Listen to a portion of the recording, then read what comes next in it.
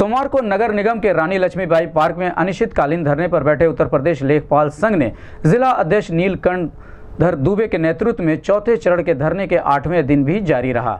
अनिश्चितकालीन धरने में सात तहसीलों से भारी संख्या में लेखपाल मौजूद रहे। आठ सूत्रीय मांग को लेकर धरने पर बैठे लेखपाल संघ ने जोरदार प्रदर्शन करते हुए नारे लगाए। लेखपाल संघ का कहना है कि जब तक हमारी सारी मांगें पूरी नहीं हो जाती, तब तक हमारा ये धरना चलता रहेगा। इस संबंध में गोरखपुर न्यूज़ संवाददाता से बात करते हुए धरने में शामिल लेखपाल तहसील चौरी चौरा से चंचल राइया, भावना त्यागी और जिला मंत्री उत्तर प्रदेश लेखपाल संघ जगदीश प्रसाद ने कहा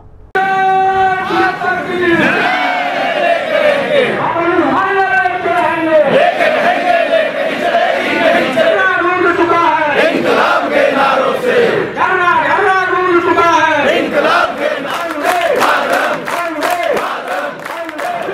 जिंदाबाद जिंदाबाद जिंदाबाद हमारी मांगे पूरी करो पूरी करो चुनाव नहीं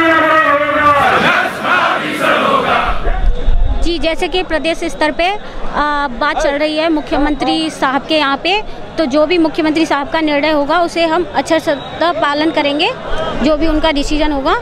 बाकी हमारा धरना यहाँ पे जब तक निर्णय नहीं आ जाता तब तक यथावत चलता रहेगा। कहाँ कहाँ से लोग आ रहे हैं जी सातों तहसील से यहाँ पे इकट्ठा होते हैं जितनी गोरखपुर में तहसील है बाकी सभी लोग आ रहे हैं कोई भी एबसेंट नहीं रहता। रोज़ सभी दस बजे आ जाते हैं और चार बजे तक यथावत स्थान पे बने रहते हैं।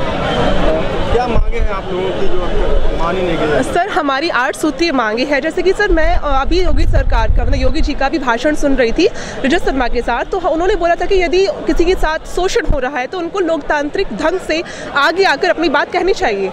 तो सर हमने भी तो एक लोकतांत्रिक ढंग से आगे आ, मतलब आगे आकर अब उस शोषण के खिलाफ जो इतने सालों से शोषण हो रहा है उसके खिलाफ हमने आवाज़ उठाई है।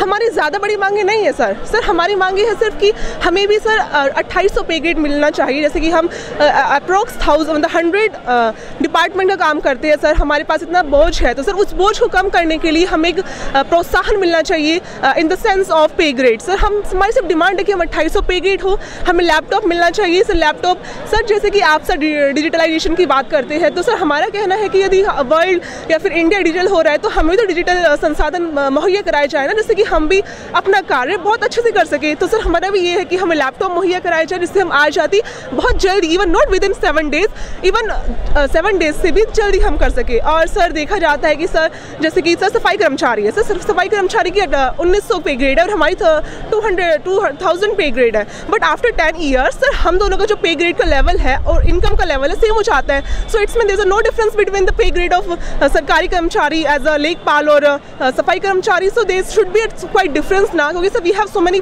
burden हमारे कंधों पर बहुत बर्डन है तो हमें सिर्फ़ लोकतांत्रिक ढंग से हम अपनी ये बात कहना चाहते हैं। और जैसे कि लेखपाल है लेखपाल का जो ये पदनाम है वी वांट कि वी टू चेंज दैट लेखपाल टू उप राजस्व निरीक्षक। सर, हम चाहते हैं कि उसको आप कर दे तो मतलब ये कुछ कुछ हमारी मांगे है, ये जो वेतन विसंगतियाँ हैं तो हम थोड़ा बहुत चाहते हैं टू तो चेंज अपना संघ को नोट चेंज अपने लेखपाल को कि हमारा भी जो लेखपाल संघ है, या फिर हम जो लेखपाल करने की हमारी जो कार्यशैली है, वो भी और अच्छी हो सके, जो बहुत सालों से हम करते आ रहे हैं, उसको हम और सुदृढ़ और अच्छे से एफिशिएंटली कर सके, और अच्छे से काम कर सके, कि आपको बार बार डंडा ना करना पड़े पड़ेगी। हमने काम देरी से क्यों किया? वो मतलब रीज़न क्या है कि हम थोड़ा देरी से काम करते तो रीज़न बिहाइंड इज़ दैट कि we have not sufficient resources because of insufficient resources we are doing work so late हमारा कार्य बहुत लेट होता है। सर देर सो मतलब बहुत छोटी छोटी बातें हैं। बहुत बहुत छोटी छोटी मांगे हैं यदि आप उसको पूरा कर देते हैं तो वी विल जस्ट मतलब हम आपको दिलाते हैं आपको आश्वासन दिलाते हैं कि जो हमारा काम की प्रगति है वो दि, दिन दुगनी और चौगुनी होगी मतलब बहुत तेज तेज़ी से होगी। जी, जी। है हो आज हमारी शासन में वार्ता है तो मुख्यमंत्री ने निर्देश दिया है सचिवों से आज हमारी वार्ता चल रही है, उसमें कुछ न कुछ निर्णय हमारे पक्ष में आएगा और मुझे पूर्ण विश्वास है कि हमारे मांगे यथावत पूरी होंगी, जल्द से जल्द पूरी होंगी। अगर मुख्यमंत्री महोदय हमारी बातों को नहीं मानेंगे तो मुझे मजबूरन धरने पर बैठना पड़ेगा। अगली अगली रणनीति, जो भी मेरा प्रदेश नेतृत्व अगली रणनीति तय करेगा, उसका अंशाक्षर से पालन करेंगे, हमारा जनपद पालन करेगा। और पालन करने के लिए पूरा प्रदेश तैयार है। मुख्यमंत्री जिस भी निर्णय पे जाएँगे, उसका लेखपाल संघ सक्षर से पालन करेगा, उसको फेस करेगा, जो भी उनका आदेश होगा।